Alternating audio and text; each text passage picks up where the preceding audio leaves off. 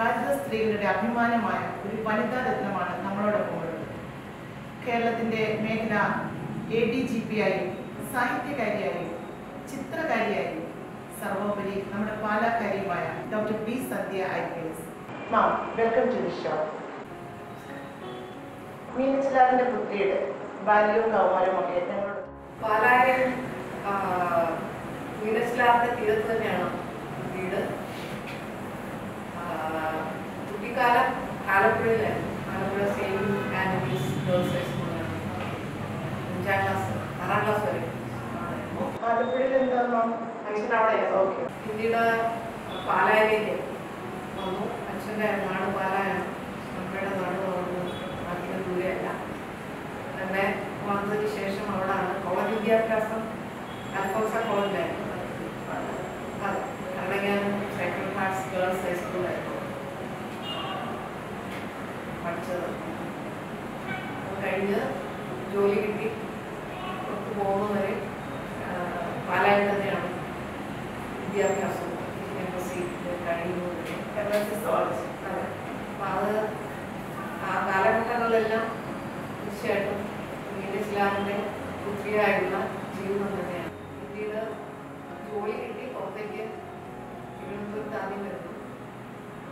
അവിടെ വെച്ചിട്ടാണ് civil service പരീക്ഷ എഴുതി പാസ്സായി ഐ പി എസിൽ ചേർന്നതിന് ശേഷം ട്രെയിനിങ്ങിനായിരുന്നു മാമിന് ഈ സിവിൽ സർവീസ് എടുക്കാൻ ഒരു പ്രചോദനം ഉണ്ട് എന്റെ ഏഹ്, സ്കൂളിൽ ഒമ്പതാം ക്ലാസ്സിൽ ഞങ്ങളെ സോഷ്യൽ സ്റ്റഡീസ് പഠിപ്പിച്ചു സിസ്റ്റർ റോസിറ്റ എപ്പോഴും എന്നോട് പറയായിരുന്നു സന്ധ്യ ഏതെങ്കിലും ആ, സമൂഹത്തിന് നല്ല രീതിയിൽ ആ, സേവനം ചെയ്യാൻ പറ്റുന്ന ഒരു മേഖലയിലേക്ക് ആ ടീച്ചറിനോടുള്ള സ്നേഹം ഞാൻ ഞാൻ ആലോചിച്ചു അങ്ങനെ കണ്ടുപിടിച്ചതാണ് അതിന് പറ്റുന്ന സിവിൽ സർവീസ് ആയിരിക്കും അപ്പൊ ഈ വിമൻസ് ഡേയിൽ മാമിന് മറക്കാൻ പറ്റാത്ത ഒരു ഓർത്ത് വയ്ക്കുന്ന ഒരു വിമൻ ആണ് മാമിന്റെ സിസ്റ്റർ സിസ്റ്റർ റോസിറ്റ വേറെ ആരെങ്കിലും ഉണ്ടോ മാമിനെ അതുപോലെ സ്വാധീനിച്ചൊരു വനിതാ രത്നം അതുപോലെ സ്വാധീനിച്ചത് പിന്നെ എന്റെ അമ്മ അമ്മ ഫുൾ സപ്പോർട്ട് അച്ഛൻ? അവരുടെ ലോകത്തേക്ക് മാമിനെ കുട്ടികൊണ്ട് പോയത് അച്ഛനാണ്. അക്ഷരങ്ങളുടെ ലോകത്തേക്ക് അച്ഛനാണ്. അക്ഷരങ്ങളുടെ ലോകത്തേക്ക് ചങ്ങനാശ്ശേരിയുമായിട്ട് മാമിനൊരു ബന്ധമുണ്ട്. ചങ്ങനാശ്ശേരിയുമായിട്ട് ആ, ഭർത്താവ് അവിടെയാണ് ആദ്യം പഠിപ്പിച്ചു പഠിച്ചു പഠിപ്പിച്ചു അതെ. സാർ ഏത് ഇയറിലായിരുന്നു മാം കല്യാണം ഇപ്പോൾ പോലീസ് അക്കാഡമിയുടെ ഡയറക്ടർ. മാം നമ്മുടെ ഇന്റർനാഷണൽ ലെവലിലാണ് നമ്മുടെ പോലീസ് ട്രെയിനിങ് എന്തൊക്കെയാണ് മാം അതിന്റെ സവിശേഷതകൾ എന്തൊക്കെയാണ് അതിന്റെ പ്രത്യേകത? പഴയ കാലത്ത് നിന്ന് വളരെ വ്യത്യസ്തമായിട്ട് നമ്മളിപ്പോൾ പോലീസ് ട്രെയിനിങ്ങിൽ ബ്ലെൻഡഡ് ട്രെയിനിങ് മെത്തഡോളജീസ് ആണ് ഉപയോഗിക്കുന്നത്. അതായത് ഒരു പഴയ കാലത്ത് ഞങ്ങളൊക്കെ പഠിക്കുമ്പോൾ ഐ പി സി എന്ന് പറഞ്ഞു കഴിഞ്ഞാൽ കുറേ സെക്ഷൻസ് പഠിപ്പിക്കും പിന്നെ വേറെ കുറച്ച് സമയത്ത് സി ആർ പി സി എന്ന് പറഞ്ഞിട്ട് വേറൊരു ടീച്ചർ വന്നിട്ട് അത് പഠിപ്പിച്ചിട്ട് പിന്നെ വേറെ ഏതെങ്കിലും സമയത്ത് വന്നിട്ട് ആക്ട് മറ്റൊരാൾ പഠിപ്പിക്കും അപ്പൊ ഇതൊന്നും ഒരുമിച്ച് എങ്ങനെയാണ് കൊണ്ടുപോകേണ്ടതെന്നുള്ളതിനെ കുറിച്ച് വലിയ ധാരണയില്ല. പക്ഷെ ഇന്ന് അങ്ങനെയല്ല. ഏതെങ്കിലും ഒരു സന്ദർഭം ഒരു കേസിന്റെ കാര്യം എടുത്തിട്ട് അതിലെങ്ങനെയാണ് എവിടെ എവിഡൻസ് ആക്ട് അപ്ലൈ ചെയ്യണം? സി ആർ പി സിയിലെ ഏത് സെക്ഷൻ അവിടെ ഏത് കാര്യത്തിൽ അപ്ലൈ ചെയ്യണം? അറസ്റ്റിന്റെ കാര്യത്തിലാണോ? അതല്ലെങ്കിൽ മറ്റേതെങ്കിലും കാര്യത്തിലാണോ? അതുപോലെ അതിന്റെ ഏത് സെക്ഷൻ എങ്ങനെയുണ്ടോ ഇതെല്ലാം ഒരുമിച്ച് പഠിപ്പിക്കുന്നു. അതുപോലെ ചില റോൾ പ്ലേയിലൂടെ ആയിരിക്കാം. അല്ലെങ്കിൽ ചില വീഡിയോയിലൂടെ ഒക്കെ ആയിരിക്കാം പഠിപ്പിക്കുന്നു അതുപോലെ ഡ്രില്ലൊക്കെ പഠിപ്പിക്കണമെങ്കിൽ പണ്ട് ഉസ്താദ് അടുത്ത് വന്നിട്ട് കറക്റ്റ് ചെയ്യണം. ഞങ്ങളൊക്കെ. ഞങ്ങൾ അവിടെ ഒരു ഗ്രീൻ ഡോസറി ഉണ്ട്. പോലീസ് അപ്പം അതിന് കുറച്ചുകൂടെ എളുപ്പമുണ്ട്. അതിൽ സ്വയം വേണമെങ്കിൽ പോയി കറക്റ്റ് അങ്ങനെ അതുപോലെ പരീക്ഷകളൊക്കെ ആണെങ്കിൽ ഓൺലൈൻ എക്സാമിനേഷൻ സിസ്റ്റം വിത്ത് ബുക്സാണ് ട്രെയിനീസിന് അവരുടെ പഠിക്കാനുള്ള ടോപ്പിക്സ് ഒക്കെ അതിന് മുമ്പ് തന്നെ അവരുടെ സ്മാർട്ട് ഫോണിൽ കിട്ടും. അപ്പം ഇങ്ങനെ വളരെ ആധുനികമായ രീതിയിലുള്ള ഒരു ട്രെയിനിങ് ആണ് നടത്തുന്നത്. അതുപോലെ എല്ലാ കാര്യങ്ങളും അവരുടെ ആരോഗ്യ കാര്യത്തിലൊക്കെ ആണെങ്കിലും ഞങ്ങൾ കൊടുക്കുന്നുണ്ട് അവരുടെ കാര്യങ്ങളെല്ലാം നോക്കാനായിട്ട് മെഡിക്കൽ ചെക്കപ്പ് ഉണ്ട് എൽ എം സി പി എന്നുള്ള ആളുകൾ വന്നിട്ട് ഹെൽപ്പ് ചെയ്യുന്നു. അതുപോലെ ഡയറ്റീഷ്യൻസിന്റെ ഹെൽപ്പുണ്ട്. പല വിധത്തിലും ഏറ്റവും ആധുനികമായ രീതിയിലാണ് നല്ലൊരു തീർച്ചയായിട്ടും. മാം പോലീസ് ഡിപ്പാർട്ട്മെന്റ് പല മേഖലകൾ കൈകാര്യം ചെയ്യും. Law and order crime branch modernisation Janamaithri now train ഈ പിന്നുകളിലൊക്കെ മാം നേരത്തു ഏറ്റവും കംഫർട്ട് അല്ലെങ്കിൽ ഏറ്റവും സാറ്റിസ്ഫാക്ഷൻ ആയിട്ട് തോന്നിയത് ഇതിൽ ഏത് പിന്നാണ്? എവിടെ ഇരുന്നാലും വളരെയധികം ഞാൻ അനുഭവിച്ചത് ഇംഗ്ലീഷിലെ ഏത് വിഭാഗത്തിലെ ജോലി ചെയ്യുമ്പോഴാണെങ്കിലും എങ്ങനെയാണ് ഒരു മീന് രാത്രി നീങ്ങുമ്പോൾ സന്തോഷത്തോടെ ഇരിക്കുന്നത് അതുപോലെയാണ് എനിക്ക് അനുഭവപ്പെട്ടിട്ടുള്ളത് പൊതുജനങ്ങളുമായിട്ട് സഹകരിച്ച് പ്രവർത്തിക്കുമ്പോൾ കൂടുതൽ സന്തോഷം ഏത് ജോലിയിലാണെങ്കിലും അതീവ സന്തോഷത്തോടെയാണ് ജോലി ചെയ്തിട്ടുള്ളത് ഇപ്പോൾ നമുക്ക് സ്ത്രീകൾക്കും കുഞ്ഞുങ്ങൾക്കെതിരെ അതിക്രമങ്ങൾ നടക്കുന്ന ഒരു കാലമാണ് അപ്പോൾ പുതിയ ഒരു ട്രെൻഡ് കൂടുതൽ എസ് ഐ വനിതാ എസ് ഐമാരെ ഡയറക്റ്റ് റിക്രൂട്ട് ചെയ്യുന്നു ഡിപ്പാർട്ട്മെന്റ് വനിതാ എസ് ഐമാരല്ല. വനിതകളാവട്ടെ പുരുഷന്മാരാവട്ടെ ആർക്കാണെങ്കിലും ഒരുപോലെ അവസരം കൊടുക്കുക. ഭരണഘടന വാഗ്ദാനം ചെയ്തിരിക്കുന്നത് പോലെ സ്ത്രീകൾക്കും പുരുഷന്മാർക്കും ഒരേപോലെ അപ്ലൈ ചെയ്യാനും കടന്നു വരാനുമുള്ള അവസരം. അങ്ങനെയാണ് ഇപ്പോൾ സബ് ഇൻസ്പെക്ടർ ഗ്രൂപ്പിന്റെ അത്തരം ഫസ്റ്റ് ബാച്ച് അവർ പാസ് ഔട്ട് ആയിട്ട് അവരുടെ പ്രൊഫഷൻ കഴിഞ്ഞിട്ടില്ല. അവർ ട്രെയിനിങ്ങിലായിട്ട് ഇപ്പോൾ പോലീസ് സ്റ്റേഷനിൽ അവരുടെ first batch second third batch ഇപ്പോൾ അക്കാഡമി അത് അങ്ങനെ വരുമ്പോൾ സ്ത്രീകൾക്ക് ഫ്രണ്ട്ലിയോ അല്ലേ അല്ല സ്ത്രീകൾ അല്ലെങ്കിൽ അവരെ നിഷേധിച്ചിരിക്കുകയായിരുന്നു സബ് ഇൻസ്പെക്ടറായിട്ട് കടന്നു വരാനായിട്ട് സ്ത്രീകൾക്ക് ഒരു അവസരം നമ്മൾ കൊടുത്തിരുന്നില്ല കേരളത്തിൽ അത് തീരെ നിഷേധമായിരുന്നു. അത് ഇന്ന് മാറി കേരള പോലീസിന്റെ മോട്ടോ മോട്ടോ മൃദുഭാവേ ദൃഢകൃതി അതെ അതൊന്ന് എക്സ്പ്ലെയിൻ ചെയ്യണം. നമ്മൾ ഏത് കാര്യമാണെങ്കിലും പോലീസിൽ വളരെ കൃത്യമായിട്ട് നടപ്പിലാക്കേണ്ടതുണ്ട്. നിയമ പാലകർ എന്ന് പറയുമ്പോൾ നിയമം പാലിക്കാനായിട്ട് അത് റബ്ബർ ഇടത്തോട്ടോ വലത്തോട്ടോ നോക്കാതെ കൃത്യമായിട്ട് നിയമം പാലിച്ചിരിക്കും. പക്ഷെ ആ നിയമം പാലിക്കുമ്പോഴും നമ്മൾ അത് വളരെ കർക്കശമായിട്ട് നിയമം പാലിക്കുമ്പോഴും നമ്മുടെ പെരുമാറ്റം മുഖഭാവം ഇതൊക്കെ ജനങ്ങൾക്ക് നമ്മുടെ അടുത്തേക്ക് വരാനായിട്ട് തോന്നിക്കുന്ന വിധത്തിലുള്ളതായിരിക്കും. അതാണ് മൃദുഭാവേ. അതെ. ദെൻ ദൃഢകൃതി അതെ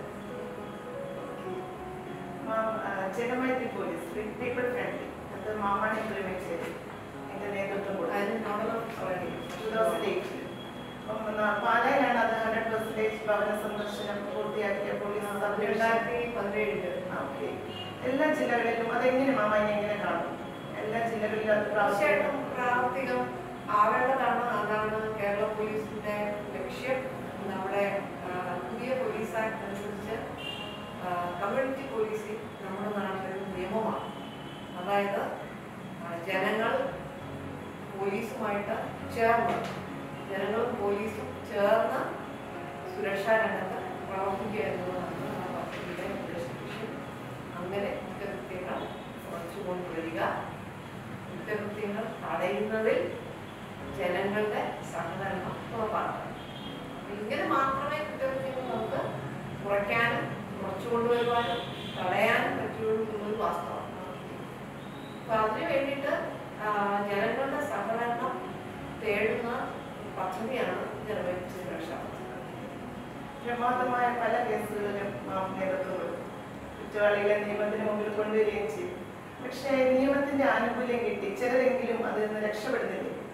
മാമിനൊരു നിരാശ തോന്നിയിരുന്നു അതെല്ലാം ഈ ഈ ജീവിതം എന്ന് പറഞ്ഞു കഴിഞ്ഞാൽ നമ്മൾ പ്രതീക്ഷിക്കുന്ന പോലെ നമ്മൾ വിചാരിക്കുന്നത് പോലെ അല്ലല്ലോ.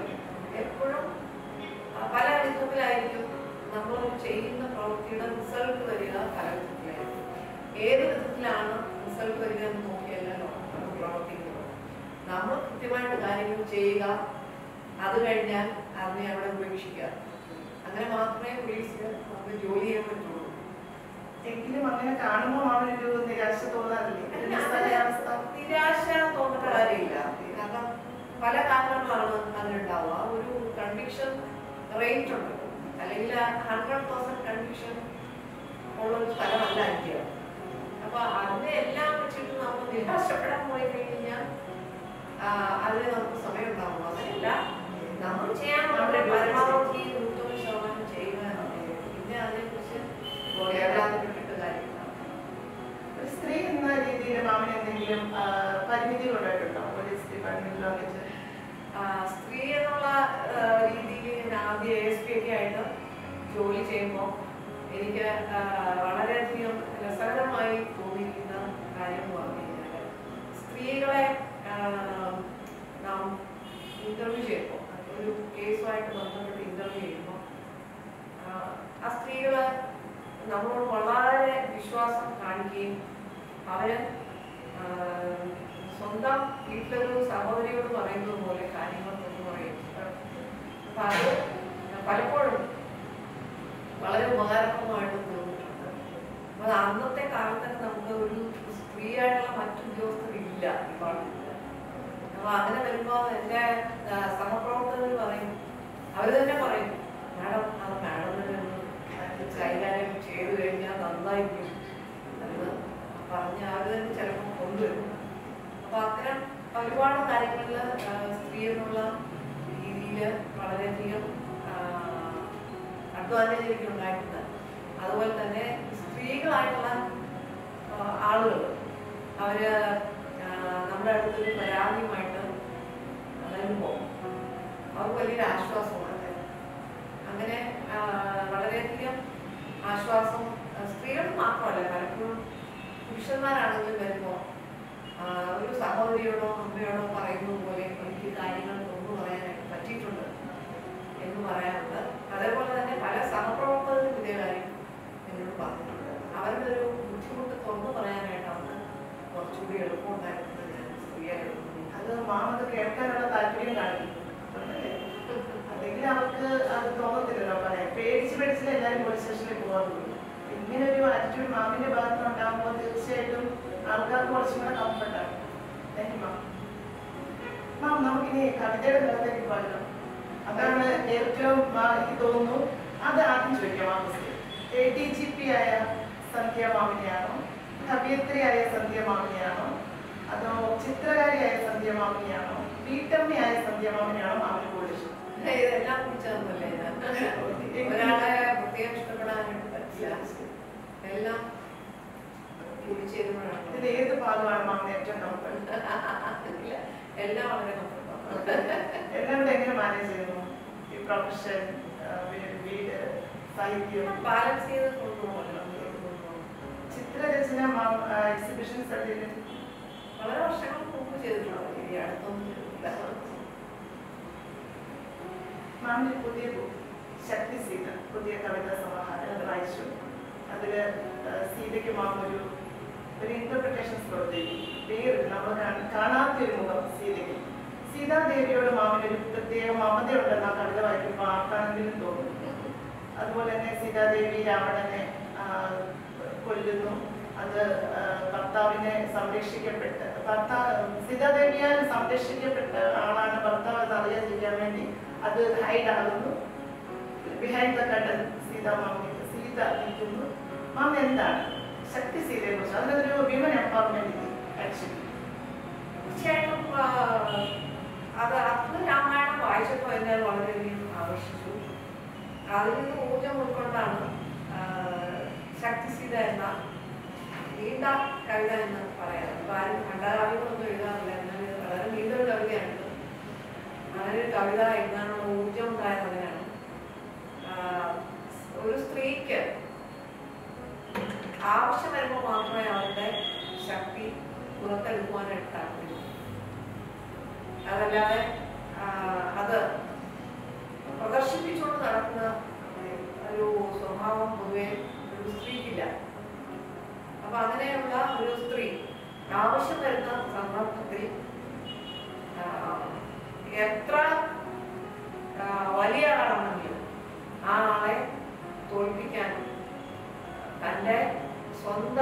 ശക്തി കൊണ്ട് തോൽപ്പിക്കാൻ കഴിവുള്ളവളാണ് എന്നാണ് ആ അദ്ഭുത രാമായണത്തിന്റെ ആശയം. എന്നെ വളരെയധികം ആകർഷിച്ചു. അങ്ങനെയാണ് ശക്തി ശക്തിസീത എന്ന നീണ്ട കവിത എഴുതാനിടയായത്. എന്നിട്ട് മാം രണ്ടു മൂന്ന് വേർഷൻസ് അത്ഭുത സീത മായ സീത അങ്ങനത്തെ അതെ അതെ സീതാദേവിയുടെ ആ ഒരു കോൺസെപ്റ്റ് മാമിന് ഭയങ്കരമായിട്ട് ഇഷ്ടപ്പെട്ടു ഇഷ്ടപ്പെട്ടു നന്നായി. അതിനകത്ത് സ്ത്രീയുടെ കണ്ണുനീർ വീഴുന്നിടം ചുട്ട് ചാമ്പലാകും എന്നൊക്കെ മാമ അടുത്ത് പറഞ്ഞിട്ടുണ്ട്. എവിടെ പെണ്ണിൻ കണ്ണീർ ശിശുരോദനമെങ്കിൽ അവിടം സർവം ചുട്ടു. നീരിടും നെരിപ്പോടായി ഭൂമിയെ രക്ഷിക്കുവാൻ നന്മതൻ പക്ഷം കാക്കാൻ സ്ത്രീ ശക്തി ഉണർന്നാലേ രക്ഷയുള്ളൊടുക്കത്തിൽ ഭൂമിയെ രക്ഷിക്കുവാൻ നന്മതൻ പക്ഷം കാക്കാൻ സ്ത്രീ ശക്തി ഉണർന്നാലേ രക്ഷയുള്ളൊടുക്കത്തിൽ ശക്തിയാം സ്ത്രീയെ കാണാൻ അന്ധരാം അവർക്കിപ്പോൾ. ആവുകില്ലാതിനാൽ നീ ഉരിയാടരുതൊന്നും. നിന്റെ കീർത്തിയെ താഴ്ത്തിക്കെട്ടും പെണ്ണിനാൽ സംരക്ഷിക്കപ്പെട്ടവനെന്നും ചൊല്ലും. ആരും ഈ കഥയോക്കിൽ ഓർമ്മിപ്പിക്കേണ്ട നമ്മൾ. അഭിഷേകത്തിൻ ശേഷം ഹരണം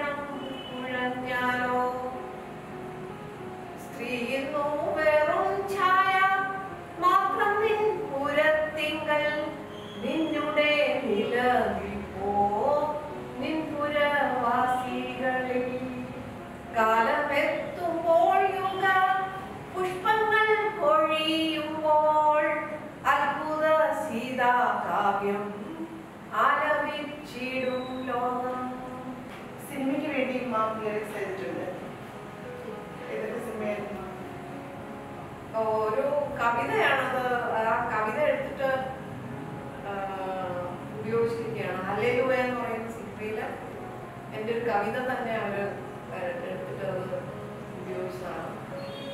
പിന്നെ സർവോപരി മാലാക്കാരൻ എന്ന സിനിമയിലാണ് ആ, സിനിമയ്ക്ക് വേണ്ടിയിട്ട് എഴുതിയത് എഴുതിയത്. ടീം അവർ പറഞ്ഞു മാം അത്. ഒരു അടങ്ങാത്ത ആത്മരോഷം മാമിന്റെ മിക്ക കവിതകളിലും പ്രകടമായി കാണാം. ഒരു പോലീസ് ഓഫീസറായിട്ട് പോലും ആ ഒരു പവർ ഉണ്ടായിട്ട് പോലും മാമിന് പ്രതികരിക്കുവാൻ ഈ കൂട്ടുപിടിക്കേണ്ടി വരുന്നു എന്നത് പോലീസ് ഓഫീസറായിട്ട് പോലും മാമിന് പോലും പരിമിതികളുണ്ട് എന്നല്ലേ സൂചിപ്പിക്കുന്നത്? എന്താണ് പറയുന്നത്? പോലീസ് ഓഫീസർക്ക് ഒരുപാട് പരിമിതികളുണ്ടല്ലോ. നിയമത്തിന് അനുസൃതമായിട്ടും ചട്ടക്കൂടുകൾ ആ, ചട്ടക്കൂടുകൾക്ക് അകത്തു നിന്നുകൊണ്ട് മാത്രമാണ് നമ്മൾ എപ്പോഴും പ്രവർത്തിക്കുന്നത്. തീർച്ചയായിട്ടും ആ ചട്ടക്കൂടിനെ വെളിയിലേക്ക് ഇറങ്ങി പ്രവർത്തിക്കാതെ വളരെ ശ്രദ്ധിക്കുന്ന ആളാണ്. ആ നിയമം അനുസരിച്ചും സർവീസ് ചട്ടങ്ങൾക്കും വിരുദ്ധമായിട്ട് ഒരു കാര്യവും ഒരിക്കലും ആ, ചെയ്യാത്ത പക്ഷേ എഴുതാനായിട്ട് നമ്മുടെ സയന്റിഫിക് വർക്ക് നമുക്ക് എഴുതാനായിട്ട് നമുക്ക് സർവീസ് ചട്ടം അനുസരിച്ച് തന്നെയുള്ള സ്വാതന്ത്ര്യം ഉപയോഗിച്ചുകൊണ്ട് എഴുതുന്നു. എഴുത്ത് വളരെ ചെറുപ്പത്തിൽ തുടങ്ങിയതാണ്. പത്ത് വയസ്സുള്ളപ്പോൾ എഴുതി തുടങ്ങിയതാണ്. അത് ഈ സർവീസിന്റെ കുപ്പായം ഊരി വെച്ച് കഴിഞ്ഞാലും എന്നോടൊപ്പം ഉണ്ടാവണമെന്നാണ് ആഗ്രഹം. അത് ജീവിതത്തിന്റെ തന്നെ ഭാഗമാണ്. ആദ്യം എഴുതിയ കവിത മാമ ഓർമ്മ ആദ്യം എഴുതിയത് ഒരു ആനയെ കുറിച്ചുള്ള കവിതയാണ് ഓക്കെ. അതൊന്ന് ഉത്സവത്തിന് എഴുന്നള്ളിച്ച് നിൽക്കുന്ന ഒരു ആനയെ കുറിച്ചുള്ള കവിതയാണ്. അതിന്റെ കൃത്യമായ വരികൾ എനിക്ക് ഓർമ്മയില്ല. ഒരു പത്താം പത്ത് വയസ്സായയുടെ മനസ്സ്. കവിതയുടെ കൂടാതെ മാമിന് ചിത്രരചന. പിന്നെ വേറെ എന്തെങ്കിലും മാമിന്റെ നോവലുകൾ എഴുതിയിട്ടുണ്ട് ആ, നീലക്കുടവേലിയുടെ കാവൽക്കാരി എന്ന നോവലുണ്ട്. പിന്നെ അതുകൂടാതെ രാമായണത്തെ അടിസ്ഥാനമാക്കി ഇതിഹാസത്തിന്റെ ഇതളുകൾ എന്നുള്ള ഒരു നോവലുണ്ട് കുട്ടികൾക്ക് വേണ്ടി ധാരാളം എഴുതിയിട്ടുണ്ട് ഞാൻ കവിതകളുണ്ട്. അതുകൂടാതെ ആറ്റക്കിളിക്കുമ്പിലെ അത്ഭുതങ്ങൾ എന്നൊരു കുട്ടികൾക്ക് വേണ്ടിയിട്ടുള്ള നോവൽ എഴുതിയിട്ടുണ്ട്. ഓക്കെ ബാലസാഹിത്യം അതെ. മാമിന്റെ ഈ പവർഫുൾ ഇമോഷൻസ് ആണോ? ഈ കവിതയും കഥയും നോവലും ഒക്കെ ആയിട്ട് ചേഞ്ച് ആവും ആ എഴുതാനായിട്ടുള്ള ത്വര എഴുതുന്നത് ഈ വനിതാ ദിനത്തിൽ കുഞ്ഞുങ്ങളോടും സ്ത്രീകളോടും ഒപ്പം പുരുഷന്മാരോടും doctor P Sandhya I P എസിന് നൽകാനുള്ള സന്ദേശം എന്താണ്? സ്ത്രീകളും പുരുഷന്മാരും സമൂഹത്തിന്റെ തുല്യ പങ്കാളിത്തം വഹിക്കുന്നവരാണ്. അത് പറയുമ്പോൾ ട്രാൻസ്ജെൻഡേഴ്സ് ഉൾപ്പെടെ. അവരെ കുറിച്ച് നമ്മൾ പലപ്പോഴും മറന്നു പോകാറുണ്ട്. അപ്പൊ ഏതാണ്ട് എട്ട് പത്ത് വയസ്സാകുമ്പോഴേക്കുമാണ് ചിലർക്ക് അവർ ട്രാൻസ്ജെൻഡർ ആണെന്ന് മനസ്സിലാവുന്നത്. അപ്പൊ അവരും സമൂഹത്തിന്റെ ഭാഗം തന്നെയാണ്. അപ്പോൾ ഏത് ലിംഗത്തിൽപ്പെട്ടവരാണ് അവർക്കെല്ലാം ഭരണഘടന വാഗ്ദാനം ചെയ്തിരിക്കുന്ന സമത്വം സ്വാതന്ത്ര്യം അതെല്ലാം അനുഭവിക്കാനായിട്ട് ഉള്ള ഒരു രാജ്യമാണ് ഇന്ത്യ.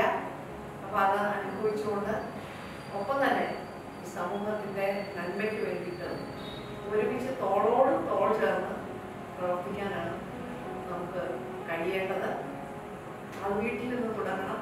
കൊച്ചുകുട്ടികളെ വളർത്തുമ്പോൾ തന്നെ ആ, സ്ത്രീ പുരുഷൻ എന്നുള്ള വ്യത്യാസത്തിലല്ല.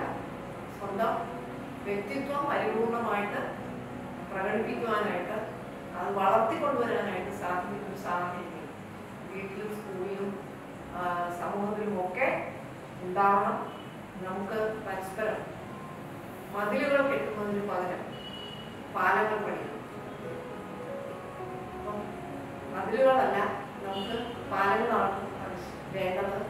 നമ്മൾ ഒന്നിച്ച് നാമൊന്ന് ഒന്ന് ചേർന്നാൽ ഒറ്റയ്ക്കൊരാളെക്കാൾ മെച്ചമെന്നുള്ളത് മറക്കാതിരിക്കും?